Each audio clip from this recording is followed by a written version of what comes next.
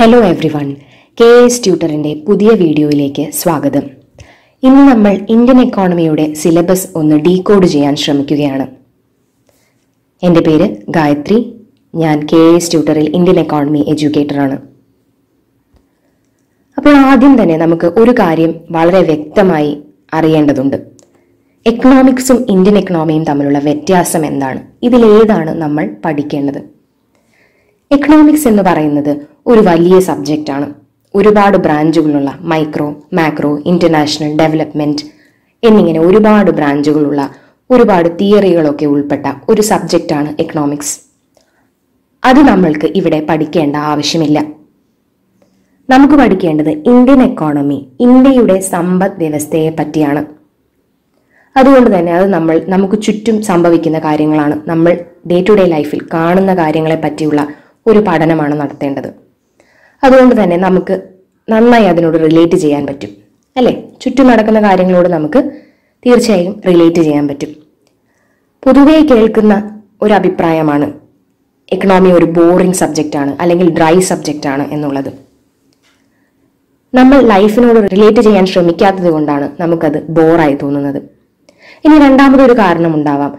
News article അല്ലെങ്കിൽ current affairs വായിക്കുമ്പോൾ ഇക്കണോമിയുടെ ചില ടേംസ് നമുക്ക് വ്യക്തമല്ലാതിരിക്കുകയാണെങ്കിൽ ആ ആർട്ടിക്കിൾ നമുക്ക് നന്നായി മനസ്സിലാക്കാൻ പറ്റില്ല. അങ്ങനെ വരുമ്പോൾ സബ്ജക്റ്റ് ബോറായി തോന്നും. ഇനി മുതൽ ക്ലാസ്സുകളിൽ നമുക്ക് ഓരോ കറണ്ട് അഫയറിലും വരുന്ന ടോപ്പിക്സ് അല്ലെങ്കിൽ ടേംസ് ഒന്ന് പറഞ്ഞു പോകാം. അത് വ്യക്തമാവുമ്പോൾ കറണ്ട് അഫയേഴ്സ് വായിക്കാൻ നിങ്ങൾക്ക് കുറച്ചുകൂടി എളുപ്പമാവും. ഇന്ത്യൻ എക്കണോമിയിൽ നമ്മൾ മെയിനായി ഫോക്കസ് ചെയ്യേണ്ടത് എന്തൊക്കെയാണ് നമ്മുടെ സമ്പദ് വ്യവസ്ഥയുടെ ക്യാരക്ടറിസ്റ്റിക്സ് എന്തൊക്കെയാണ് നമ്മൾ അഭിമുഖീകരിക്കുന്ന പ്രശ്നങ്ങൾ? അതിനുള്ള സൊല്യൂഷൻസ് എന്തൊക്കെയാണ്? നമുക്ക് കുറച്ച് ഉദാഹരണങ്ങൾ നോക്കാം. ഇത് കുറച്ചു കാലങ്ങളായി അടുത്ത കാലത്തായി പത്രങ്ങളിൽ വന്ന ചില വാർത്തകളാണ്. ആദ്യത്തെ വാർത്ത നോക്കൂ. Government ready to take more steps for boosting growth കുറച്ചു കാലമായി നടക്കുന്ന ഒരു ചർച്ചയാണ് ഇന്ത്യ ഒരു സ്ലോ ഡൗണിലേക്ക് പോവുകയാണ്. അല്ലെങ്കിൽ ഇന്ത്യൻ എക്കോണമി ഒരു റിസഷണറി ട്രെൻഡാണ് കാണിക്കുന്നത്. അപ്പൊ എന്തുകൊണ്ടാണ് ഈ സ്ലോ ഡൗണിലേക്ക് പോകുന്നത്? നമ്മൾ ഓരോ കറണ്ട് അഫയർ വരുമ്പോഴും നമ്മൾ എന്തുകൊണ്ട് വൈ എന്നുള്ള ക്വസ്റ്റ്യൻ ചോദിക്കണം. അതിനുള്ള ഉത്തരം കിട്ടുമ്പോഴാണ് അതാണ് നമ്മുടെ അനാലിസിസ് ചോദ്യങ്ങൾ എപ്പോഴും അങ്ങനെയായിരിക്കും വരിക. ഇപ്പോൾ റിസഷന്റെ ഒരു ചോദ്യം വന്നു കഴിഞ്ഞാൽ do you think Indian economy is going into a recession എന്താണ് അതിന്റെ കാരണങ്ങൾ? അല്ലെങ്കിൽ എന്താണ് അതിന്റെ പരിഹാരങ്ങൾ? ഇങ്ങനെയാവും മിക്കവാറും ചോദ്യങ്ങൾ വരിക. അപ്പൊ ആ ചോദ്യം നമ്മൾ ഓരോ ആർട്ടിക്കിൾ വായിക്കുമ്പോഴും ചോദിച്ച് അതിന്റെ ഉത്തരം കണ്ടെത്താൻ ശ്രമിക്കുക. ഇപ്പൊ തന്നെ എന്തുകൊണ്ടാണ് എന്തുകൊണ്ടായിരിക്കാം ഇന്ത്യൻ എക്കോണമി റിസഷനിലേക്ക് പോകുന്നത്? ഡിമാൻഡ് വളരെ കുറവാണ്. അപ്പോൾ എന്തുകൊണ്ടാണ് ഡിമാൻഡ് കുറഞ്ഞിരിക്കുന്നത്? ആളുകളുടെ ജോലി നഷ്ടപ്പെട്ടിരിക്കുകയാണ്. ആളുകൾക്ക് വരുമാനമില്ലാത്ത ഒരവസ്ഥയാണ് ഉള്ളത്. ഈ കാരണങ്ങൾ അറിഞ്ഞു കഴിഞ്ഞാൽ നമ്മൾക്ക് അതിന്റെ സൊല്യൂഷൻ കണ്ടുപിടിക്കാൻ പറ്റുമല്ലോ. ആളുകളുടെ കയ്യിൽ വരുമാനം എത്തിക്കുന്ന പോളിസി വേണം സ്വീകരിക്കാൻ. ആളുകൾക്ക് കൂടുതൽ ജോലി ലഭിക്കുന്ന പോളിസികൾ വേണം സ്വീകരിക്കാൻ. റൂറൽ എംപ്ലോയ്മെന്റ് പ്രോഗ്രാംസ് കൂടുതലായി ഇംപ്ലിമെന്റ് ചെയ്യണം. അല്ലെ? അപ്പൊ ഈ ഈ ന്യൂസ് തന്നെ നോക്കൂ. ഫിനാൻസ് മിനിസ്റ്റർ പറഞ്ഞിരിക്കുന്നത് ഗവൺമെന്റ് കൂടുതൽ സ്റ്റെപ്സ് എടുക്കാൻ റെഡിയാണ് ഒരു ഫിസിക്കൽ പോളിസി ഇനിഷ്യേറ്റീവിന് റെഡിയാണ് എന്നാണ് അതിനകത്ത് പറയുന്നത്.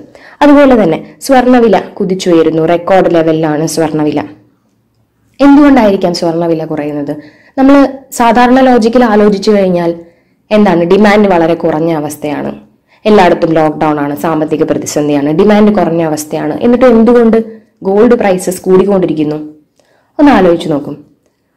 അപ്പോൾ ഗോൾഡ് ഓയിൽ എന്നിങ്ങനെയുള്ള ചില കമോഡിറ്റികളുടെ പ്രൈസ് ഇന്റർനാഷണൽ മാർക്കറ്റിനെ ഡിപ്പെൻഡ് ചെയ്താണ് ഇരിക്കുന്നത്. കൊറോണ കൊറോണ വൈറസ് പടർന്നു പിടിക്കുന്ന സാഹചര്യത്തിൽ വളരെയധികം സാമ്പത്തിക പ്രതിസന്ധി ഉള്ളതുകൊണ്ട് തന്നെ ഇൻവെസ്റ്റ്മെന്റുകളെല്ലാം റിസ്കിലാണ് ഇൻവെസ്റ്റ്മെന്റിൽ നിന്ന് എത്ര ലാഭം ഉണ്ടാവും എന്നുള്ളത് പറയാൻ പറ്റാത്ത ഒരവസ്ഥയാണ്. അതുകൊണ്ട് ഇൻവെസ്റ്റേഴ്സ് എല്ലാം സേഫ് ആയിട്ടുള്ള ഇൻവെസ്റ്റ്മെന്റ് തേടി പോകുന്ന ഒരു സാഹചര്യമാണുള്ളത്. അപ്പോൾ ഗോൾഡ് വളരെ സേഫ് ആയിട്ടുള്ള ഇൻവെസ്റ്റ്മെന്റ് ആയതുകൊണ്ട് തന്നെ അതിലേക്ക് ഇൻവെസ്റ്റ്മെന്റ് കൂടുതലായി വന്നുകൊണ്ടിരിക്കുകയാണ്. അപ്പോൾ ഇന്റർനാഷണൽ ലെവലിൽ ഗോൾഡിന്റെ ഡിമാൻഡ് കൂടുന്നു. അതുകൊണ്ടാണ് ഗോൾഡിന്റെ പ്രൈസ് കുതിച്ചുയർന്നുകൊണ്ടിരിക്കുന്നത്. ഇനി മറ്റൊരു ന്യൂസ് നോക്കൂ. ഇൻഫ്ലേഷൻ അലേർട്ട് ഇന്ത്യൻ എക്കോണമിയിൽ ഇൻഫ്ലേഷൻ സാഹചര്യം വരികയാണ്. നോക്കൂ ഒരു പാരഡോക്സിക്കൽ സിറ്റുവേഷൻ ആണ്. ആദ്യം നമ്മൾ റിസഷൻ എന്ന് പറഞ്ഞു. ഇപ്പോൾ ഇൻഫ്ലേഷനും ഉണ്ട്. അവ രണ്ടും കൂടെ എക്സിസ്റ്റ് ചെയ്യുന്ന ഒരു സിറ്റുവേഷൻ ആണ് ഇന്ത്യൻ എക്കോണമിയിൽ ഇപ്പോൾ ഉള്ളത്. ജൂണിലെ ഒരു റിപ്പോർട്ട് അനുസരിച്ച് റീറ്റെയിൽ ഇൻഫ്ലേഷൻ ആറ് പോയിന്റ് ഒന്ന് ശതമാനം. അതായത് ആർ ബി ഐ കംഫർട്ടബിൾ ആയിട്ട് പറയുന്ന ഇൻഫ്ലേഷൻ റേറ്റ് എന്ന് റേറ്റ് എന്ന് പറയുന്നത് നാല് ശതമാനത്തിന്റെ രണ്ട് ശതമാനം മുകളിൽ. അതായത് ആറ് ശതമാനം വരെ ആകാം എന്നുള്ളതാണ് കംഫർട്ടബിൾ ആയിട്ടുള്ള ഇൻഫ്ലേഷൻ റേറ്റ് അപ്പോൾ നോക്കൂ നമ്മുടെ ഏറ്റവും അപ്പർ ലിമിറ്റിലേക്ക് ഡേഞ്ചറസ് ആയിട്ടുള്ള ലിമിറ്റിലേക്ക് ഇൻഫ്ലേഷൻ പോയിക്കൊണ്ടിരിക്കുകയാണ്. അപ്പൊ എന്തുകൊണ്ടായിരിക്കാം ഇൻഫ്ലേഷൻ വരാനുള്ള കാരണം? രണ്ട് മാസമായി ലോക്ക്ഡൌൺ ആയിരുന്നിട്ട് കൂടി എക്കോണമി റീഓപ്പൺ ചെയ്ത സമയമാണ്. അപ്പൊ എന്തുകൊണ്ടായിരിക്കാം ഇൻഫ്ലേഷൻ വന്നത്? നമുക്കറിയാവുന്നതുപോലെ തന്നെ സപ്ലൈ ചെയിനിലെല്ലാം ഡിസ്ട്രപ്ഷൻസ് ആണ് അല്ലേ അതായത് സാധനങ്ങൾ ഒരു സ്ഥലത്ത് നിന്ന് മറ്റൊരു സ്ഥലത്ത് നിന്ന് എത്തിക്കാനുള്ള ബുദ്ധിമുട്ടുകൾ. കാരണം പല സ്ഥലങ്ങളിലും ലോക്ക്ഡൌൺ ആയതുകൊണ്ട് തന്നെ ട്രാൻസ്പോർട്ടേഷൻ സുഗമമായി നടക്കാതിരിക്കുന്ന ഒരവസ്ഥയുണ്ട്.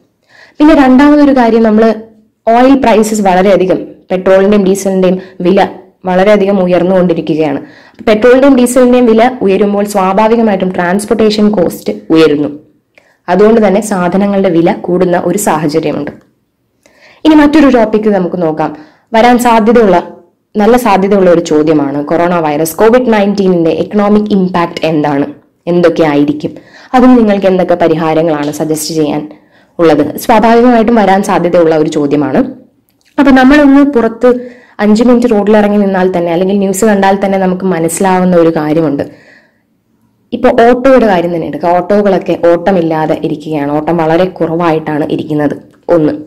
പിന്നെ കടകമ്പോളങ്ങൾ തന്നെ നോക്കുക. അത്യാവശ്യ സാധനങ്ങൾ വിൽക്കുന്ന കടകളല്ലാതെ ബാക്കി എല്ലാം തന്നെ അടഞ്ഞു കിടക്കുകയാണ്. അപ്പൊ അപ്പോൾ അപ്പൊ നമ്മൾ ആലോചിച്ച് നോക്കുക.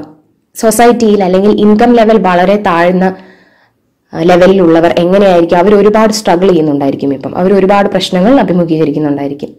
ചെറുകിട വ്യവസായങ്ങളൊക്കെ സഫർ ചെയ്യുകയാണ്. അപ്പൊ ചുറ്റും നോക്കിയാൽ തന്നെ കോവിഡ് നയന്റീനിന്റെ ഇമ്പാക്റ്റിനെ പറ്റിയുള്ള ഒരുപാട് പോയിന്റ്സ് നമുക്ക് കിട്ടും അല്ലെ? ഒന്ന് ആലോചിച്ച് നോക്കിയാൽ നമുക്ക് സൊല്യൂഷൻസും കണ്ടെത്താൻ പറ്റും. അപ്പോൾ ഇനി മുതൽ ഓരോ ന്യൂസ് ആർട്ടിക്കിൾ കാണി കാണുമ്പോഴും ഇങ്ങനെയൊന്ന് റിലേറ്റ് ചെയ്യാൻ ശ്രമിക്കുക. വൈ എന്നുള്ള ചോദ്യം ചോദിക്കുക. അങ്ങനെ അനാലിസിസിന് വേണ്ടി ട്രൈ ചെയ്യാം ഇനി ഞാൻ ജസ്റ്റ് എക്കണോമിക്സിന്റെ ഡെഫിനിഷൻ എന്താണെന്ന് ഒന്ന് പറയാം. Economics is the science which studies human behaviour as a relationship between ends and scarce means which have alternative uses ഇവിടെ എൻസ് എന്ന് ഉദ്ദേശിക്കുന്നത് നമ്മുടെ ആവശ്യങ്ങളാണ് കേട്ടോ നമ്മുടെ വോൺസ് ആണ്. അപ്പോൾ ഇതിനകത്ത് എന്താണ് പറഞ്ഞിരിക്കുന്നത്? Relationship between ends and scarce means ആദ്യം പറഞ്ഞിരിക്കുന്നത് ഹ്യൂമൻ ബിഹേവിയറിന്റെ ഒരു സ്റ്റഡിയാണ് അതായത് നമ്മൾ എങ്ങനെ ബിഹേവ് ചെയ്യുന്നു എന്നുള്ളതിനെ പറ്റിയുള്ള ഒരു സ്റ്റഡിയാണ് ശരിയല്ലേ? ഒന്ന് ആലോചിച്ച് നോക്കൂ. നമ്മുടെ നമ്മൾ ഒരു സാധനം വാങ്ങാൻ അല്ലെങ്കിൽ ഒരു കടയിൽ പോകുന്നു. നമ്മൾ സാധനം വാങ്ങുന്നത് എന്തിന്റെ അടിസ്ഥാനത്തിലാണ്? നമ്മുടെ ആവശ്യങ്ങൾ തീർച്ചയായിട്ടും നമ്മുടെ ആവശ്യങ്ങളുടെ അടിസ്ഥാനത്തിൽ തന്നെയാണ്. രണ്ടാമത് അല്ലെങ്കിൽ മോസ്റ്റ് ഇമ്പോർട്ടന്റ് ആയിട്ടുള്ള ഒരു കൺസിഡറേഷൻ എന്താണ്? നമ്മുടെ കയ്യിൽ അതിനുള്ള പണമുണ്ടോ? നമ്മുടെ കയ്യിൽ എത്രത്തോളം പണമുണ്ട്? നമുക്ക് എല്ലാം വാങ്ങാനുള്ള പണം നമ്മുടെ കയ്യിൽ ഇല്ല. അങ്ങനെയാകുമ്പോൾ നമ്മൾ എന്ത് ചെയ്യും? ഏറ്റവും ആവശ്യമുള്ള സാധനങ്ങൾ വാങ്ങും. അപ്പോൾ ഇത് ഈ ഒരു കാർട്ടൂൺ നോക്കുക അപ്പോൾ ഒരാൾ പോക്കറ്റ് മണി കിട്ടും എന്നുള്ള പ്രതീക്ഷയിൽ പോവുകയാണ്. പല പ്ലാനുകളും മനസ്സിൽ നടത്തുകയാണ്. പത്ത് ഡോളറിന് ഒരു ബർഗർ കഴിക്കാം എഴുപത്തഞ്ച് ഡോളറിന് ഒരു ഫോൺ വാങ്ങാം ഇരുപത്തഞ്ച് ഡോളറിന് കുറച്ച് പുസ്തകങ്ങൾ വാങ്ങാം അൻപത് ഡോളറിന് കുറച്ച് ഡ്രസ്സുകൾ വാങ്ങാം എന്നൊക്കെ പ്ലാൻ ചെയ്ത് പോവുകയാണ്. എന്നിട്ടോ എന്ത് സംഭവിക്കുന്നു? പോക്കറ്റ് മണി കിട്ടുമ്പോൾ അമ്പത് രൂപ മാത്രമാണ് സോറി അമ്പത് ഡോളർ മാത്രമാണ് കിട്ടുന്നത്. അപ്പോൾ നമ്മുടെ ആവശ്യങ്ങൾക്ക് വേണ്ടി അത് തികയാതെ വരുന്ന സാഹചര്യം വരുന്നു. അപ്പോൾ മനുഷ്യന്റെ ആവശ്യങ്ങൾ അനന്തമാണ്. ഒരാവശ്യം നിറവേറി കഴിഞ്ഞാൽ ഉടനെ അടുത്ത ആഗ്രഹം ഉടലെടുക്കും. എന്നാൽ ഈ ആവശ്യങ്ങളെ തൃപ്തിപ്പെടുത്താനുള്ള വിഭവങ്ങളോ അത് മനുഷ്യന്റെ കയ്യിൽ പരിമിതമാണ്. ഈ പരിമിതമായ വിഭവങ്ങൾക്ക് ധാരാളം ഉപയോഗങ്ങളും ഉണ്ട്. അപ്പോൾ എങ്ങനെയാണ് ഈ അനന്തമായ ആവശ്യങ്ങളും പരിമിതമായ വിഭവങ്ങളും തമ്മിലുള്ള പൊരുത്തക്കേട് എങ്ങനെയാണ് നമ്മൾ സോൾവ് ചെയ്യുന്നത് എന്നുള്ളത് തന്നെയാണ് എല്ലാ എക്കണോമിക് പ്രശ്നങ്ങളുടെയും അടിസ്ഥാനം ഇത് തന്നെയാണ്. കഴിഞ്ഞ സ്ലൈഡിൽ നമ്മൾ ഡിസ്കസ് ചെയ്തു. കൊറോണ വൈറസ് വന്നിരിക്കുകയാണ്. ഗോൾഡ് പ്രൈസസ് വളരെയധികം കൂടുകയാണ്. അല്ലെങ്കിൽ ഇൻഫ്ലേഷൻ വളരെയധികം കൂടുകയാണ്. എല്ലാവർക്കും വേണ്ടുന്ന വിഭവങ്ങൾ ധാരാളമായി ഉണ്ടായിരുന്നെങ്കിൽ ഒരു പ്രശ്നവും ഇല്ലായിരുന്നു അല്ലെ? അപ്പൊ വിഭവങ്ങളുടെ കുറവാണ് എല്ലായിടത്തും പ്രശ്നമുണ്ടാക്കുന്നത്. നമുക്ക് ആദ്യത്തെ മോഡ്യൂളിലേക്ക് വരാം. ആദ്യത്തെ മോഡ്യൂളിൽ ഇന്ത്യൻ എക്കോണമിയെ പറ്റിയുള്ള ഒരു ഹിസ്റ്റോറിക് ഓവർവ്യൂ അല്ലെങ്കിൽ ഒരു ജനറൽ ഓവർവ്യൂ ആണ് കൊടുത്തിരിക്കുന്നത്. അതിനു മുമ്പായി ഒരു കാര്യം പറഞ്ഞോളട്ടെ. ഇന്ത്യൻ എക്കോണമിയിൽ ഏത് ടോപ്പിക്ക് പഠിക്കുമ്പോഴും നമ്മൾ മൂന്ന് കാലഘട്ടങ്ങളായി ഡിവൈഡ് ചെയ്ത് പഠിക്കുന്നതാണ് ഏറ്റവും നല്ലത്. ഒന്ന് നയന്റീൻ ഫോർട്ടി സെവനിന് മുൻപ് അതായത് സ്വാതന്ത്ര്യലബ്ധിക്കാലത്തെ ഇന്ത്യൻ സമ്പദ് വ്യവസ്ഥ എങ്ങനെയായിരുന്നു? പിന്നീട് ആയിരത്തി തൊള്ളായിരത്തി നാൽപ്പത്തി ഏഴ് മുതൽ ആയിരത്തി തൊള്ളായിരത്തി തൊണ്ണൂറ് വരെയുള്ള കാലഘട്ടം അതായത് പ്രീ റിഫോംസ് പീരിയഡ് നമുക്കറിയാം തൊണ്ണൂറ്റി ഒന്നിലാണ് പുത്തൻ സാമ്പത്തിക നയങ്ങൾ കൊണ്ടുവന്നത്. അപ്പോൾ അതിന് മുൻപുള്ള പീരീഡ് പ്രീ റിഫോം പീരീഡ് പിന്നെ മൂന്നാമതായിട്ട് ആയിരത്തി തൊള്ളായിരത്തി തൊണ്ണൂറ്റി ഒന്നിന് ശേഷമുള്ള കാലഘട്ടം. അതാണ് പോസ്റ്റ് റിഫോം പീരിയഡ് ഈ മൂന്ന് കാലഘട്ടങ്ങളിലായി പഠിച്ചാൽ നമുക്ക് കൃത്യമായ ഒരു ക്രോണോളജിക്കൽ ഓർഡർ കിട്ടുകയും ചെയ്യും. അനലൈസ് ചെയ്യാനും വളരെ എളുപ്പമാണ്. അപ്പോൾ ആദ്യത്തെ topic Indian economy on the eve of independence സ്വാതന്ത്ര്യലബ്ധിക്കാലത്തെ Indian എക്കോണമിയുടെ അവസ്ഥ എന്തായിരുന്നു? അപ്പോൾ ഓരോ കാലഘട്ടത്തിലും ഓരോ മേഖലയിലും വന്നിട്ടുള്ള മാറ്റങ്ങൾ എന്തൊക്കെയാണ്? ഓരോ മേഖലയിലും വളർച്ച എന്താണ് ഉണ്ടായിട്ടുള്ള പുരോഗതി എന്താണ് അങ്ങനെയുള്ള എല്ലാ കാര്യങ്ങളും നമ്മളൊന്ന് അനലൈസ് ചെയ്യണം. അതാണ് ഫസ്റ്റ് മോഡ്യൂൾ രണ്ടാമത്തെ മോഡ്യൂൾ പറഞ്ഞതുപോലെ തന്നെ ആയിരത്തി തൊള്ളായിരത്തി നാൽപ്പത്തി ഏഴ് മുതൽ ആയിരത്തി തൊള്ളായിരത്തി തൊണ്ണൂറ് വരെയുള്ള സോറി രണ്ടാമത്തെ മോഡ്യൂൾ അല്ല രണ്ടാമത്തെ ടോപ്പിക് ആയിരത്തി തൊള്ളായിരത്തി നാൽപ്പത്തി ഏഴ് മുതൽ ആയിരത്തി തൊള്ളായിരത്തി തൊണ്ണൂറ് വരെയും പ്രീ റിഫോം പീരീഡ് ആയിരത്തി തൊള്ളായിരത്തി തൊണ്ണൂറ്റി ഒന്നിന് ശേഷമുള്ള പോസ്റ്റ് റിഫോം പീരീഡ് ഇത് രണ്ടുമാണ് പറഞ്ഞിരിക്കുന്നത്. പിന്നെ ന്യൂ എക്കണോമിക് റിഫോംസ് നമ്മൾ ഓൾറെഡി പറഞ്ഞു. ഗ്ലോബലൈസേഷൻ ലിബറലൈസേഷൻ പ്രൈവറ്റൈസേഷൻ അതാണ് ഉദ്ദേശിച്ചിരിക്കുന്നത്. അപ്പൊ ഇതിനെ പറ്റിയുള്ള ഒരു ഹിസ്റ്റോറിക് ഓവർവ്യൂ ഇതെന്തൊക്കെ മാറ്റങ്ങളാണ് നമ്മുടെ സമ്പദ് വ്യവസ്ഥയിൽ വരുത്തിയത്? എന്തുകൊണ്ടാണ് ഇതൊക്കെ ഇൻട്രൊഡ്യൂസ് ചെയ്യേണ്ട ആവശ്യം വന്നത്? ഇങ്ങനെയുള്ള ഒരു ഐഡിയ ആണ് നമുക്കവിടെ വേണ്ടത്. അടുത്ത് കൊടുത്തിരിക്കുന്ന ടോപ്പിക് അടുത്ത് കൊടുത്തിരിക്കുന്നത് കുറച്ച് ടേംസ് ആണ്. National income per capita income sectoral composition of output and employment mains ആയതുകൊണ്ട് തന്നെ ടേംസ് മാത്രം അറിഞ്ഞിട്ട് കാര്യമില്ല. ടേംസ് എന്താണെന്ന് അറിയണം പക്ഷെ അത് മാത്രം കൊണ്ട് കാര്യമില്ല. അപ്പോൾ നമുക്ക് അറിയേണ്ടത് ഇതിന്റെയൊക്കെ ഒരു ജനറൽ ട്രെൻഡ് എന്തായിരുന്നു? ജി ഡി പി പല കാല കാലഘട്ടങ്ങളിൽ അല്ലെങ്കിൽ പല പ്ലാൻ പീരീഡുകളിൽ ജി ഡി പി എങ്ങനെയായിരുന്നു? ജി ഡി പിയുടെ വളർച്ച ഡയറക്ഷൻ എങ്ങനെയായിരുന്നു? ഇൻക്രീസിംഗ് ആയിരുന്നോ? ഡിക്രീസിംഗ് ആയിരുന്നോ? അതോ കോൺസ്റ്റന്റ് ആയി നിൽക്കുകയായിരുന്നോ? അതുപോലെ തന്നെ പെർ ക്യാപിറ്റ ഇൻകം ആളോഹരി വരുമാനം എങ്ങനെയായിരുന്നു? അതിന്റെ ജനറൽ ട്രെൻഡ് എന്താണ്? നമുക്ക് ഒരിക്കലും ഓരോ വർഷത്തെയും കൃത്യമായ ശതമാന കണക്ക് അറിയേണ്ട ആവശ്യമില്ല. അത് ഏറ്റവും ഇമ്പോർട്ടന്റ് ആയിട്ടുള്ള കാലഘട്ടങ്ങളിൽ അല്ലെങ്കിൽ ഏറ്റവും റീസെന്റ് ആയിട്ടുള്ള കാലഘട്ടത്തിലെ മാത്രമേ നമ്മൾ അങ്ങനെ നോക്കേണ്ട കാര്യമുള്ളൂ. ബാക്കി എല്ലാത്തിലും ഒരു ജനറൽ ഡയറക്ഷൻ അറിഞ്ഞു വെക്കുക. പിന്നെ പറഞ്ഞിരിക്കുന്നത് sectoral contribution of output and employment ഓരോ മേഖലയും ജി ഡി പിയിലേക്ക് നടത്തിയ സംഭാവന. പല കാലഘട്ടങ്ങളിൽ വന്ന സംഭാവന എന്താണ്? അല്ലെങ്കിൽ ഓരോ മേഖലയിലും തൊഴിൽ ചെയ്യുന്ന ആളുകളുടെ എണ്ണം ശതമാനം എങ്ങനെയാണ്? അതൊക്കെയാണ് അതിനകത്ത് മനസ്സിലാക്കേണ്ടത്. പിന്നെ ഡെവലപ്മെന്റ് അണ്ടർ ഡിഫറെന്റ് പോളിസി റെജീംസും ഫൈവ് ഇയർ പ്ലാൻസുമാണ് കൊടുത്തിരിക്കുന്നത്. ഫൈവ് ഇയർ പ്ലാൻസ് ഓരോ ഫൈവ് ഇയർ പ്ലാനും നമ്മൾ അനലൈസ് ചെയ്യേണ്ട ചെയ്യേണ്ടതായിട്ടുണ്ട്. ഓരോ ഫൈവ് ഇയർ പ്ലാൻ പീരീഡിലും എന്തൊക്കെയായിരുന്നു മാറ്റങ്ങൾ വന്നത് എന്തൊക്കെയായിരുന്നു അവരുടെ കൺസ്ട്രെയിൻസ് എന്തൊക്കെയായിരുന്നു ഓരോ ഫൈവ് ഇയർ പ്ലാനിന്റെയും ഗോൾസ് എന്തൊക്കെയായിരുന്നു. പ്രത്യേകിച്ച് പ്രീ റിഫോം പോസ്റ്റ് റിഫോം എന്നുള്ള പീരീഡ് തരംതിരിച്ച് തന്നെ നമ്മൾ പഠിക്കേണ്ടതായിട്ടുണ്ട്. ഇനി ഇതിനകത്ത് റിലേറ്റഡ് ആയിട്ട് വന്ന ഒരു കറണ്ട് അഫയർ ആണ്. നമുക്കറിയാവുന്നതുപോലെ തന്നെ ജി ഡി പിയുടെ ബേസ് ഇയർ എന്നുള്ളത് രണ്ടായിരത്തി പതിനൊന്ന് പന്ത്രണ്ടാക്കി മാറ്റിയിരുന്നു. അതിന്റെ അതിനോടൊപ്പം തന്നെ ജി ഡി പി എസ്റ്റിമേഷനിൽ ചില മെത്തഡോളജിയിൽ ചില വ്യത്യാസങ്ങൾ വരുത്തിയിരുന്നു. അപ്പോൾ ന്യൂസിൽ ഒരുപാട് വന്ന വന്നിരുന്ന ഒരു ടോപ്പിക്കാണ് ഒരുപാട് കോൺട്രവേഴ്സിയും കാര്യങ്ങളും കാര്യങ്ങളും ഒക്കെ ഉണ്ടായിരുന്നു. അത് റിലേറ്റഡ് ആയിട്ട് വന്ന ഒരു ന്യൂസ് ആണ് കൊടുത്തിരിക്കുന്നത്. India India's G D P growth neither over nor underestimated says economic survey അപ്പോൾ ഓവർ എസ്റ്റിമേറ്റഡ് ആണെന്ന് പറഞ്ഞ് ഒരുപാട് ചർച്ചകളും പ്രശ്നങ്ങളും ഒക്കെ ഉണ്ടായി. അപ്പൊ അതാണ് അതിനകത്ത് ഇമ്പോർട്ടന്റ് ആയിട്ടുള്ള ഒരു കറണ്ട് അഫയർ ബാക്കി ആ മോഡ്യൂൾ പഠിക്കുന്ന സമയത്ത് നമുക്ക് അതിന്റെ കറണ്ട് അഫയർ ഒക്കെ ഡീറ്റെയിൽഡ് ആയിട്ട് നോക്കാവുന്നതാണ്. ഇനി അടുത്ത് രണ്ട് മൂന്ന് നാല് എന്നീ മോഡ്യൂളുകൾ നോക്കുകയാണെങ്കിൽ അതിൽ ഓരോ മേഖലകളും എടുത്തു കൊടുത്തിരിക്കുകയാണ്. അതിൽ മോഡ്യൂൾ രണ്ടിൽ വന്നിരിക്കുന്നത് അഗ്രികൾച്ചറൽ സെക്ടർ അഥവാ കാർഷിക മേഖല.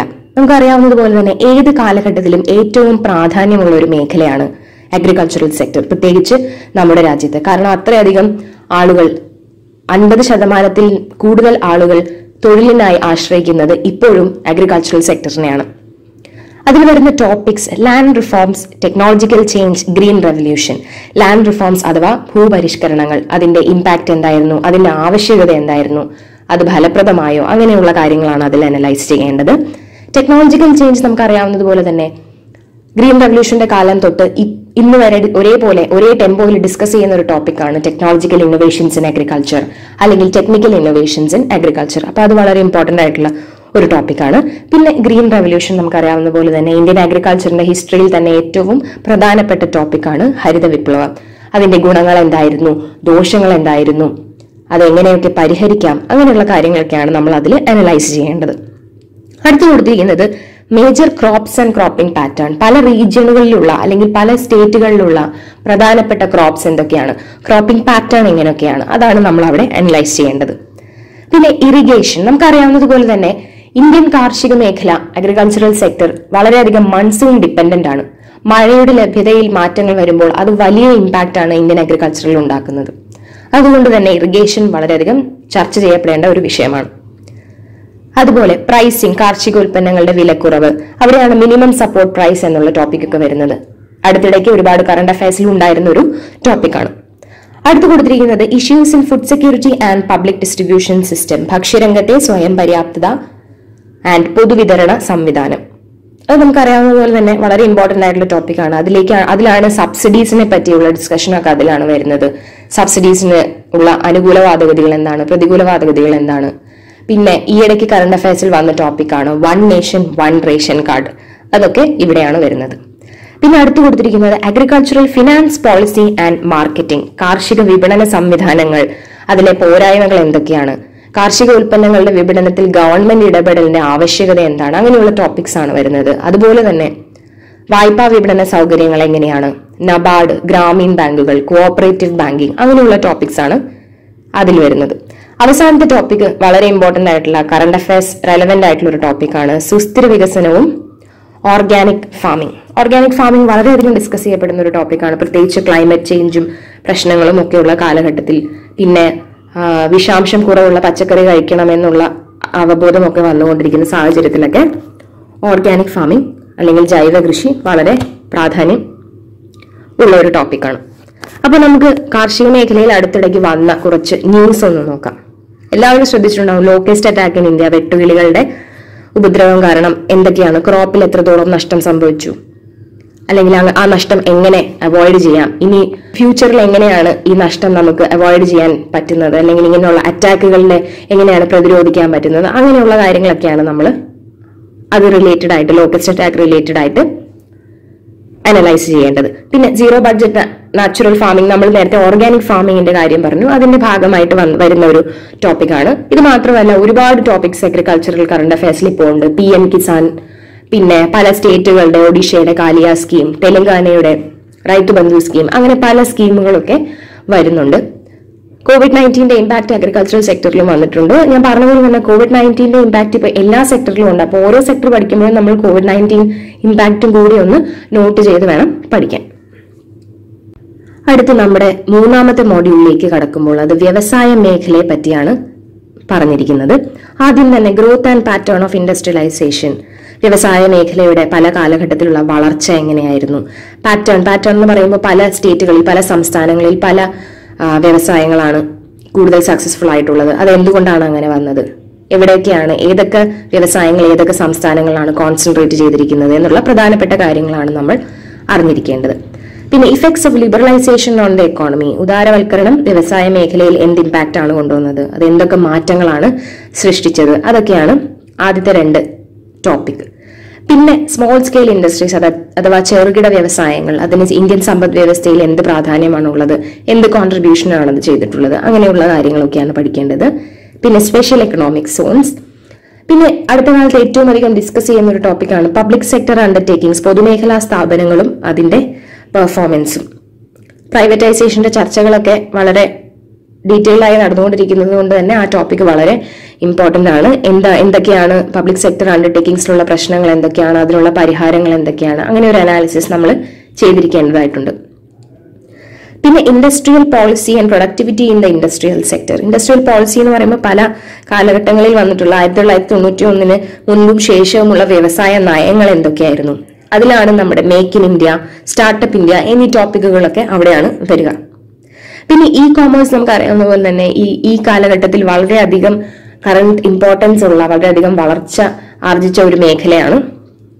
പിന്നെ foreign investment and competition policy വിദേശ വ്യാപാരം വിദേശ നിക്ഷേപം ആഗോളവൽക്കരണത്തിന്റെ ഇമ്പാക്ട് എന്തൊക്കെയാണ് അങ്ങനെയുള്ള കാര്യങ്ങളൊക്കെയാണ് അതിൽ ഡിസ്കസ് ചെയ്യുന്നത്.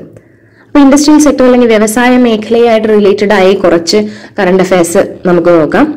മേക്ക് ഇൻ ഇന്ത്യ ഈ അടുത്ത കാലത്ത് ചൈനീസ് ടെൻഷൻസ് ഒക്കെ ചൈനയുമായിട്ടുള്ള ടെൻഷൻസ് എസ്കലേറ്റ് ചെയ്ത സാഹചര്യത്തിലാണ് മേക്ക് ഇൻ ഇന്ത്യ പിന്നെയും റെലവെന്റ് ആയത്. അപ്പൊ മേക്ക് ഇൻ ഇന്ത്യയെ പറ്റിയുള്ള ഒരു കറക്റ്റ് ഐഡിയ അല്ലെങ്കിൽ മേക്ക് ഇൻ ഇന്ത്യ കൊണ്ട് ഉണ്ടാവുന്ന ഗുണങ്ങൾ എന്തൊക്കെയാണ്? നമ്മുടെ എക്കോണമിയെ അതെങ്ങനെയൊക്കെ സഹായിക്കും എന്നുള്ള ഫാക്ടേഴ്സ് ഒക്കെ നമ്മൾ ഒന്ന് അനലൈസ് ചെയ്യണം. പിന്നെ industrial sector is vulnerable to labour unrest ഇത് ഈയിടയ്ക്ക് വന്ന ഒരു സിറ്റുവേഷൻ ആണ്. അതായത് കോവിഡ് നയന്റീൻ ലോക്ക്ഡൌൺ ഒക്കെ കാരണം വേജ് പേയ്മെന്റ്സിലൊക്കെ പ്രശ്നങ്ങൾ വന്നു. അങ്ങനെ ലേബർ അൺറസ്റ്റ് സംഭവിക്കുകയാണ്. അതുപോലെ തന്നെ നമ്മൾ കണ്ടതാണ് മൈഗ്രന്റ് ലേബറേഴ്സിന്റെ പലായനമൊക്കെ കണ്ടതാണ്. അപ്പൊ പല സ്ഥലങ്ങളിലും ആവശ്യത്തിന് ലേബറേഴ്സ് ഇല്ലാത്ത അവസ്ഥ അല്ലെങ്കിൽ ലേബറേഴ്സിന് ജോലി ഇല്ലാത്ത അവസ്ഥ അങ്ങനെയുള്ള സിറ്റുവേഷൻ ഒക്കെ എക്സിസ്റ്റ് ചെയ്യുന്നുണ്ട്. പിന്നെ സ്ലോയിങ് എക്കോണമി അല്ലെങ്കിൽ എക്കണോമിയിലെ കോർ ഇൻഡസ്ട്രീസിലുണ്ടായ കോൺട്രാക്ഷനെ പറ്റിയാണ് ആ ന്യൂസ് അടുത്ത് നമ്മുടെ ഫോർത്ത് മോഡ്യൂളിലേക്ക് പോവുകയാണെങ്കിൽ ഇൻഫ്രാസ്ട്രക്ചറിനെ പറ്റിയാണ് ആ മോഡ്യൂൾ അതായത് സമ്പദ് വ്യവസ്ഥയിലെ എല്ലാ മേഖലകളുടെയും വളർച്ചയ്ക്ക് സഹായിക്കുന്ന ഘടകങ്ങളെയാണ് നമ്മൾ അടിസ്ഥാന സൗകര്യങ്ങൾ എന്ന് പറയുന്നത്. ഈ മോഡ്യൂളിൽ നോക്കുകയാണെങ്കിൽ ഓൾമോസ്റ്റ് എല്ലാ ഇൻഫ്രാസ്ട്രക്ചറും water supply and sanitation energy and power science and technology ports roads airports railways telecommunication dams inland waterways എല്ലാം സ്പെസിഫിക് ആയിട്ട് എടുത്തു കൊടുത്തിരിക്കുകയാണ്. അതുകൊണ്ട് തന്നെ നമ്മൾ പുതിയതായിട്ട് ഏതെങ്കിലും പ്രോജക്ട്സ് കറണ്ട് അഫയേഴ്സിൽ വരികയാണെങ്കിൽ അതിന്റെ ഒരു അനാലിസിസ് നടത്തേണ്ടതായിട്ടുണ്ട്. പിന്നെ ഓരോ സെക്ടറിലും അല്ലെങ്കിൽ ഓരോ ഇൻഫ്രാസ്ട്രക്ചറും വാട്ടർ സപ്ലൈ ആൻഡ് സാനിറ്റേഷനിലുള്ള പ്രശ്നങ്ങൾ എന്തൊക്കെയാണ്? അതിൽ എന്തൊക്കെ പരിഹാരങ്ങൾ നമുക്ക് സജസ്റ്റ് ചെയ്യാം? അങ്ങനെയുള്ള ഒരു ക്രിട്ടിക്കൽ അനാലിസിസും കൂടെ നടത്തേണ്ട കാര്യമുണ്ട്. പിന്നെ എനർജി ആൻഡ് പവർ നമുക്ക് നമ്മൾ നോക്കുകയാണെങ്കിൽ റീസെന്റ് ഒരുപാട് ഡിസ്കഷൻസ് വരുന്ന ഒരു ടോപ്പിക്കാണ് എനർജി ഷോർട്ടേജും കൺവെൻഷണൽ എനർജിയിൽ നിന്ന് നോൺ കൺവെൻഷണൽ എനർജിയിലേക്കുള്ള ഷിഫ്റ്റ് പിന്നെ ഇലക്ട്രിക് വെഹിക്കിൾസ് ഇൻട്രൊഡ്യൂസ് ചെയ്യുന്നതുമായി ബന്ധപ്പെട്ട ചർച്ചകൾ. അപ്പോൾ അതൊക്കെയാണ് എനർജി ആൻഡ് പവർ എന്നുള്ള ടോപ്പിക്കിൽ വരുന്നത്. പിന്നെ റൂറൽ ആൻഡ് urban ഇൻഫ്രാസ്ട്രക്ചർ ഇപ്പോൾ റൂറൽ ഏരിയാസിൽ ഇൻഫ്രാസ്ട്രക്ചർ ഡെവലപ്മെന്റിന്റെ കുറവ് ഉണ്ടെങ്കിൽ അത് എന്തുകൊണ്ടാണ്? അത് പരിഹരിക്കപ്പെടേണ്ട ആവശ്യകത എന്താണ്? പിന്നെ ജനറലി ഒരു സമ്പദ് വ്യവസ്ഥയിൽ ഇൻഫ്രാസ്ട്രക്ചറിൽ എന്ത് റോളാണുള്ളത് സാമ്പത്തിക വളർച്ചയിൽ ഇൻഫ്രാസ്ട്രക്ചറിന്റെ കോൺട്രിബ്യൂഷൻ എത്രത്തോളമാണ്? അങ്ങനെയുള്ളതൊക്കെ ഈ ടോപ്പിക്കിൽ ഡിസ്കസ് ചെയ്യേണ്ടതായിട്ടുണ്ട്. പിന്നെ ആരോഗ്യ മേഖലയിൽ അല്ലെങ്കിൽ ഊർജ മേഖലയിലെ കാര്യം നമ്മൾ ഓൾറെഡി പറഞ്ഞു. ആരോഗ്യ മേഖലയിലൊക്കെയുള്ള വെല്ലുവിളികൾ എന്തൊക്കെയാണ്? എല്ലാത്തിന്റെ ഒരു ക്രിട്ടിക്കൽ അനാലിസിസ് ആണ് നമുക്ക് ഈ മോഡ്യൂളിൽ വേണ്ടത്. പിന്നെ സോഷ്യൽ ഇമ്പാക്ട് അസസ്മെന്റ് എന്നൊരു ടോപ്പിക് കൊടുത്തിരിക്കുന്നു. അതുകൊണ്ട് ഉദ്ദേശിക്കുന്നത് എന്താണെന്ന് പറഞ്ഞാൽ പുതിയ പ്രോജക്ട്സ് അല്ലെങ്കിൽ പുതിയ ഇൻഫ്രാസ്ട്രക്ചറൽ പ്രോജക്ട്സോ ഡെവലപ്മെന്റ് ഡെവലപ്മെന്റൽ പ്രോജക്ട്സോ വരുമ്പോൾ അതിന്റെ സാമൂഹിക സാമ്പത്തിക ഇമ്പാക്റ്റ് എന്താണ്? അതുണ്ടാക്കുന്ന പോസിറ്റീവ് ഇമ്പാക്റ്റും നെഗറ്റീവ് ഇമ്പാക്റ്റും എന്താണ്? എന്തിന്റെ അടിസ്ഥാനത്തിലാണ് ആ പ്രോജക്റ്റ് മുന്നോട്ട് പോകണോ വേണ്ടേ എന്ന് തീരുമാനിക്കുന്നത്? അങ്ങനെയുള്ള ഒരു ഡിസ്കഷനെയാണ് നമ്മൾ സോഷ്യൽ ഇമ്പാക്റ്റ് അസസ്മെന്റ് എന്ന് പറയുന്നത്. ഇപ്പം ഉദാഹരണത്തിന് വിഴിഞ്ഞം പോട്ട് വരികയാണെങ്കിൽ അതിന് ചുറ്റും താമസിക്കുന്ന ആളുകൾക്ക് പല പ്രശ്നങ്ങളും ഉണ്ടാവാൻ സാധ്യതയുണ്ട്. അപ്പോൾ അതിന്റെ ഒരു അനാലിസിസ് അത് എങ്ങനെയാണ് സ്റ്റഡി ചെയ്യുന്നത്? എങ്ങനെയാണ് സ്റ്റഡി ചെയ്യുന്നതെന്നല്ല എന്തൊക്കെയാണ് അതിനകത്ത് positive effect negative effect positive ആണോ നെഗറ്റീവ് ആണോ കൂടുതൽ? അങ്ങനെയുള്ള ഒരു ക്രിട്ടിക്കൽ അനാലിസിസ് ഒക്കെ നമ്മൾ നടത്തണം. ഇതിലും ഒരു ന്യൂസ് കൊടുത്തിട്ടുണ്ട്. ഇന്ത്യൻ റെയിൽവേസിന്റെ പ്രൈവറ്റൈസേഷന്റെ ന്യൂസാണ് അതിൽ കൊടുത്തിരിക്കുന്നത്. അപ്പോൾ ഇതുവരെ നമ്മുടെ ഡിസ്കഷൻ ഗ്രോത്ത് ഇൻഡിക്കേറ്റേഴ്സ് അല്ലെങ്കിൽ ഗ്രോത്ത് റിലേറ്റഡ് ആയിട്ടുള്ള ടോപ്പിക്സ് ആയിരുന്നു ഇതുവരെ ഉണ്ടായിരുന്നത്. മോഡ്യൂൾ ഫൈവ് നോക്കുകയാണെങ്കിൽ ഡെമോഗ്രഫി ആൻഡ് ഡെവലപ്മെന്റ് ഡെവലപ്മെന്റ് എന്നുള്ള സൈഡിലേക്കാണ് ടോപ്പിക്സ് ഈ മോഡ്യൂളിൽ ടോപ്പിക്സ് വരുന്നത്.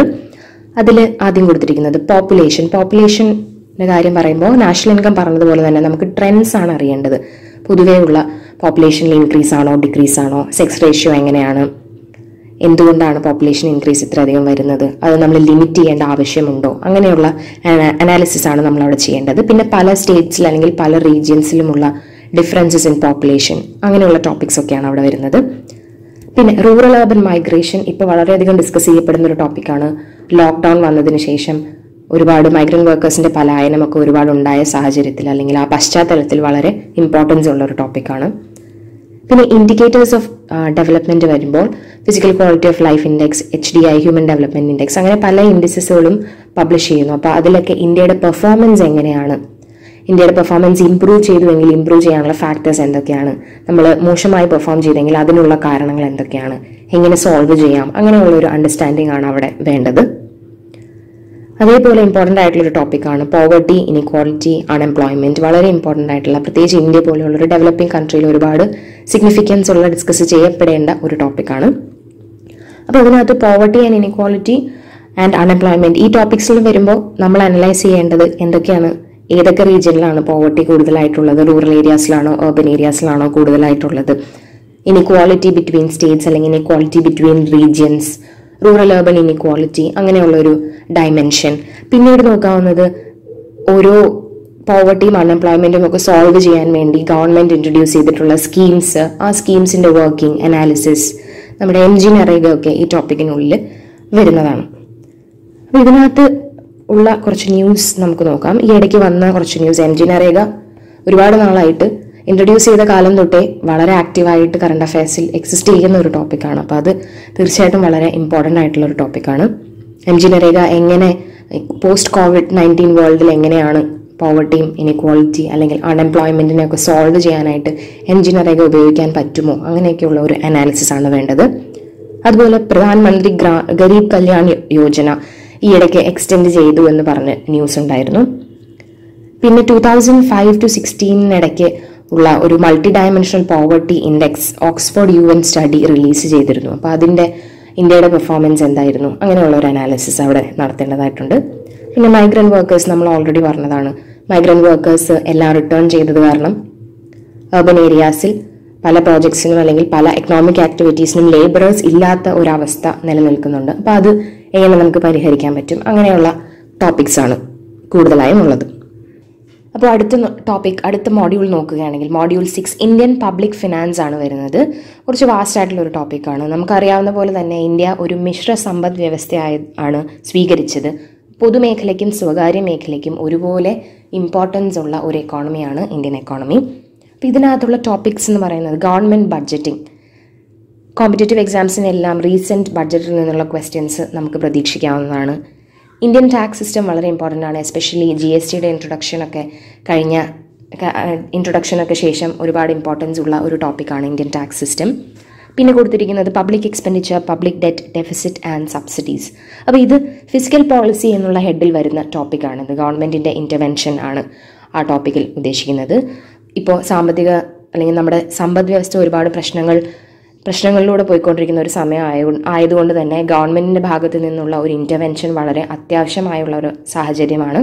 അതുകൊണ്ട് തന്നെ fiscal policy is very important പിന്നെ സെൻട്രൽ സ്റ്റേറ്റ് ഫിനാൻഷ്യൽ റിലേഷൻസ് നേരത്തെ ജി എസ് ടിയുടെ കാര്യം പറഞ്ഞതുപോലെ പറഞ്ഞതുപോലെ തന്നെ ജി എസ് ടി ഒക്കെ വന്നതിന് ശേഷം ഒരുപാട് ഡിസ്കഷൻസ് നടക്കുന്ന ഒരു ഏരിയയാണ് recent fiscal and monetary policy issues and their impact fiscal policy നമ്മൾ ഓൾറെഡി പറഞ്ഞു. മോണിറ്ററി പോളിസി എന്ന് പറയുന്നത് ആർ ബി ഐയുടെ പോളിസി ഇന്റർവെൻഷനാണ് അപ്പോൾ നമ്മൾ ക്ലാസ് തുടങ്ങിയ ഈ വീഡിയോ തുടങ്ങിയ സമയത്ത് നമ്മൾ പറഞ്ഞിരുന്നു ഇന്ത്യയിൽ റിസഷനും അല്ലെങ്കിൽ സ്ലോ ഡൗണും ഉണ്ട്. അതിനോടൊപ്പം തന്നെ ഇൻഫ്ലേഷനും ഉള്ള ഒരു സിറ്റുവേഷൻ എക്സിസ്റ്റ് ചെയ്യുന്നുണ്ട്.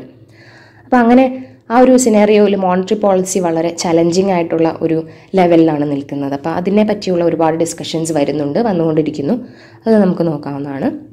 അടുത്ത് കൊടുത്തിരിക്കുന്ന topic Indian banking and non banking അപ്പോൾ ഇന്ത്യൻ ബാങ്കിങ്ങിനകത്ത് ഈ ഇടയ്ക്ക് നോക്കുകയാണെങ്കിൽ റീക്യാപിറ്റലൈസേഷൻ മേർജർ ഓഫ് ബാങ്ക്സ് അങ്ങനെയുള്ള rising N P S bad banks അങ്ങനെയുള്ള ഒരുപാട് ടോപ്പിക്കുകൾ കറണ്ട് അഫയേഴ്സിൽ വരുന്ന ഒരു ടോപ്പിക്കാണത് പിന്നെ ബാങ്കിങ് സെക്ടറിലുണ്ടായ റിഫോംസ് എന്തൊക്കെയാണ്? അതൊക്കെയാണ് അവിടെ നോക്കേണ്ടത്. പിന്നെ ഫൈനലായിട്ട് കൊടുത്തിരിക്കുന്നത് ക്യാപിറ്റൽ മാർക്കറ്റ് റിലേറ്റഡ് ആയിട്ടുള്ള ഒരു ടോപ്പിക്കാണ് stock exchange and share market അപ്പോൾ ഇതിൽ വന്നിട്ടുള്ള കുറച്ച് കറണ്ട് അഫയേഴ്സ് നമുക്കൊന്ന് നോക്കാം. ആദ്യമായിട്ട് ഞാൻ പറഞ്ഞതുപോലെ തന്നെ G S T G S T വളരെ ഇമ്പോർട്ടന്റ് ആയിട്ടുള്ള ടോപ്പിക്കാണ് G S T revenues forty one percent fall ചെയ്തു എന്നുള്ളതാണ് ന്യൂസ് കോവിഡ് നയന്റീന്റെ ഗവൺമെന്റ് റവന്യൂവിലുള്ള ഇമ്പാക്റ്റ് ആണ് പറയുന്നത്. അപ്പോൾ ഗവൺമെന്റ് റവന്യൂവിൽ ഇമ്പാക്റ്റ് വരുമ്പോൾ സ്വാഭാവികമായിട്ടും ഫിസിക്കൽ പോളിസീസിൽ ഫിസിക്കൽ പോളിസിയിൽ അത് റിഫ്ലക്റ്റ് ആവും. ഇനി അടുത്ത് കൊടുത്തിരിക്കുന്നത് ആത്മനിർഭർ ഭാരത് അഭിയാൻ. നമുക്കറിയാവുന്ന പോലെ തന്നെ കോവിഡ് നയന്റീൻ ഇമ്പാക്റ്റിനെ ചെറുത്ത് നിൽക്കാൻ വേണ്ടി അല്ലെങ്കിൽ അതിന്റെ ഇഫക്റ്റ് ചെയ്യാൻ വേണ്ടി ഇഫക്റ്റ് സോൾവ് ചെയ്യാൻ വേണ്ടിയിട്ട് ഗവൺമെന്റ് ഇൻട്രൊഡ്യൂസ് ചെയ്ത എക്കണോമിക് പാക്കേജാണ് ആത്മനിർഭർ ഭാരത് അഭിയാൻ. വളരെ ഇമ്പോർട്ടന്റ് ആയിട്ടുള്ളൊരു ടോപ്പിക്കാണ് പിന്നെ അടുത്ത ടോപ്പിക്ക് മോണിറ്ററി പോളിസി റിലേറ്റഡ് ആണ്. ഈ ഇടയ്ക്ക് വന്ന ന്യൂസാണ് ഓപ്പറേഷൻ ട്വിസ്റ്റ് എന്നുള്ള ആർ ബി ഐയുടെ പോളിസി ഇന്റർവെൻഷനാണ് ഇനി നമ്മുടെ അവസാനത്തെ മോഡ്യൂൾ മോഡ്യൂൾ സെവൻ എന്ന് പറയുന്നത് ഫോറിൻ ട്രേഡ് ആണ്. നമ്മൾ സ്ഥിരമായിട്ട് ന്യൂസിൽ കേൾക്കുന്ന കാര്യങ്ങളാണ്. ബാലൻസ് ഓഫ് പേയ്മെന്റ് ക്രൈസിസ് അല്ലേ? അപ്പോൾ ആദ്യം ആദ്യം കൊടുത്തിരിക്കുന്ന ടോപ്പിക് തന്നെ അതാണ്. Balance of payment crisis in post reforms period post reform പീരിയഡിൽ എങ്ങനെയാണ് നമ്മുടെ ബാലൻസ് ഓഫ് പേയ്മെന്റിൽ ജനറലി ഉള്ള സിറ്റുവേഷൻ എന്താണ്? എന്തുകൊണ്ടാണ് ക്രൈസിസ് വരുന്നത്? നമുക്ക് എങ്ങനെ അതിനെ സോൾവ് ചെയ്യാം? അഗൈൻ ഒരു ക്രിട്ടിക്കൽ അനാലിസിസ് ആണ് നമ്മൾ ഇങ്ങനത്തെ ടോപ്പിക്കുകളിലെല്ലാം ചെയ്യേണ്ടത്. പിന്നെ നമ്മുടെ ഫോറിൻ ട്രേഡിലെ ഒരു ട്രെൻഡ് ആൻഡ് കോമ്പസിഷൻ നമ്മുടെ മേജർ ട്രേഡിംഗ് പാർട്ട്നേഴ്സ് ആരാണ്? ഇപ്പോൾ ചൈനയുമായിട്ടുള്ള പ്രോബ്ലംസ് എസ്കലേറ്റ് ടെൻഷൻസ് എസ്കലേറ്റ് ചെയ്യുന്ന സിറ്റുവേഷനിൽ നമ്മൾ ഭയങ്കരമായിട്ട് ഇമ്പോർട്ട് കുറയ്ക്കണം എന്നൊക്കെ ഒരുപാട് ഡിസ്കഷൻസ് വരുന്നുണ്ട് അല്ലേ? അപ്പൊ അത് അതൊക്കെയാണ് ഇതിനകത്ത് ഈ ടോപ്പിക്കിനകത്ത് വരുന്നത്. പിന്നെ ഇമ്പോർട്ട് കൊണ്ടുണ്ടാകുന്ന ഡൊമസ്റ്റിക് സെക്ടേഴ്സിലുണ്ടാകുന്ന ഇമ്പാക്റ്റ് എങ്ങനെയാണ്? നമ്മൾ അതിനുവേണ്ടി ഡൊമസ്റ്റിക് സെക്ടേഴ്സിനെ പ്രൊട്ടക്ട് ചെയ്യേണ്ട ആവശ്യമുണ്ടോ? ഇമ്പോർട്ട് സബ്സ്റ്റിറ്റ്യൂഷൻ അങ്ങനെയുള്ള ഡിസ്കഷൻസ് ഒക്കെയാണ് ഇവിടെ വരുന്നത്. ആ മോഡ്യൂൾ വരുമ്പോൾ നമുക്ക് അതിന്റെ കറണ്ട് അഫയേഴ്സും കൂടെ നോക്കാവുന്നതേ ഉള്ളൂ. പിന്നെ കുറച്ച് ക്വസ്റ്റ്യൻസ് ആണ്. ഞാൻ പറഞ്ഞതുപോലെ തന്നെ കറണ്ട് അഫയർ ബേസ്ഡ് ആയിട്ടുള്ള ക്വസ്റ്റ്യൻസ് ആണ് കൂടുതൽ ഇന്ത്യൻ എക്കോണമിയിൽ എക്സ്പെക്ട് ചെയ്യുന്നത്. ബിക്കോസ് നമ്മൾ എക്കണോമിക്സ് എന്നുള്ള സബ്ജക്റ്റ് അല്ല പഠിക്കേണ്ടത്. ഇന്ത്യൻ എക്കോണമി നമ്മുടെ സമ്പദ് വ്യവസ്ഥയുടെ കണ്ടീഷനാണ് നമ്മൾ എപ്പോഴും അനലൈസ് ചെയ്യേണ്ടത്. അപ്പോൾ സ്ഥിരം നമുക്ക് ചുറ്റും നടക്കുന്ന കാര്യങ്ങളെ പറ്റിയുള്ള ഒരു ധാരണയാണ് നമുക്ക് വേണ്ടത്. ആ ധാരണ ഉണ്ടെങ്കിൽ നമുക്ക് ക്വസ്റ്റ്യൻസ് ആൻസർ ചെയ്യാൻ പറ്റുന്ന രീതിയിലുള്ള ക്വസ്റ്റ്യൻസ് ആണ് എല്ലാം വരുന്നത്. അപ്പോൾ ആദ്യത്തെ ആദ്യത്തെ ക്വസ്റ്റ്യൻ തന്നെ രണ്ടായിരത്തി പതിനേഴ് പതിനെട്ടിലെ ബഡ്ജറ്റിനെ ബേസ് ചെയ്തുള്ള ക്വസ്റ്റ്യൻ ആണ്. ബഡ്ജറ്റിനെ ബേസ് ചെയ്തുള്ള ക്വസ്റ്റ്യൻസ് നമുക്ക് എപ്പോഴും പ്രതീക്ഷിക്കുക തന്നെ വേണം. അനാലിസിസ് ആണ്. അനാലിസിസ് ടൈപ്പ് ക്വസ്റ്റ്യൻ ആണ് ഫസ്റ്റ് വൺ പിന്നെ രണ്ടാമത്തേത് ഞാൻ പബ്ലിക് ഫിനാൻസിന്റെ കാര്യം മോഡ്യൂൾ വന്നപ്പോൾ ഞാൻ പറഞ്ഞു ജി എസ് ടി വളരെ ഇമ്പോർട്ടന്റ് ആയിട്ടുള്ള ടോപ്പിക്കാണ് അപ്പോൾ ജി എസ് ടിയിലുള്ള രണ്ടായിരത്തി പതിനേഴിലുള്ള ക്വസ്റ്റ്യൻ ആണ്. ഇനി അടുത്ത് വന്ന് അടുത്ത് ജനറൽ ആയിട്ടുള്ള ക്വസ്റ്റ്യൻസ് അതായത് കറണ്ട് അഫയറിൽ റിലേറ്റഡ് അല്ലാത്ത ക്വസ്റ്റ്യൻസ് വരാൻ സാധ്യതയുള്ളത് ലാൻഡ് റിഫോംസ് ഭൂപരിഷ്കരണം നമ്മൾ ആദ്യത്തെ മോഡ്യൂൾ നോക്കിയപ്പോൾ ഞാൻ പറഞ്ഞിരുന്നു. ലാൻഡ് റിഫോംസ് വളരെ ഇമ്പോർട്ടന്റ് ആയിട്ടുള്ള ടോപ്പിക്കാണ് കാരണം ഇപ്പോഴും അതിന്റെ ഇമ്പാക്റ്റ് ഇന്ത്യയിലുണ്ട് നിൽക്കുന്ന ഒരു ടോപ്പിക്കാണ് അതുകൊണ്ട് തന്നെ അത് ഇറ്റ് ഇസ് വെരി ഇമ്പോർട്ടന്റ് വളരെ സിമ്പിളായിട്ട് നമുക്ക് ചെയ്യാവുന്നതേ ഉള്ളൂ. പിന്നെ ഇൻക്ലൂസീവ് ഗ്രോത്തിന്റെ സാലിയൻ ഫീച്ചേഴ്സ് ഇന്ത്യ അങ്ങനെ ഒരു ഗ്രോത്ത് പ്രോസസ് എക്സ്പീരിയൻസ് ചെയ്യുന്നുണ്ടോ? ചെയ്യുന്നുണ്ടോ. അതിനെപ്പറ്റിയുള്ള ഒരു ക്രിട്ടിക്കൽ അനാലിസിസ് ആണ് നമുക്ക് വേണ്ടത്. അപ്പോൾ ഓരോ മോഡ്യൂളും പഠിക്കുന്ന സമയത്ത് നമുക്കതിന്റെ സാമ്പിൾ ക്വസ്റ്റ്യൻസ് നോക്കി ആൻസർ ചെയ്യാൻ ട്രൈ ചെയ്യാവുന്നതാണ്. Okay that's it thank you wait for the other classes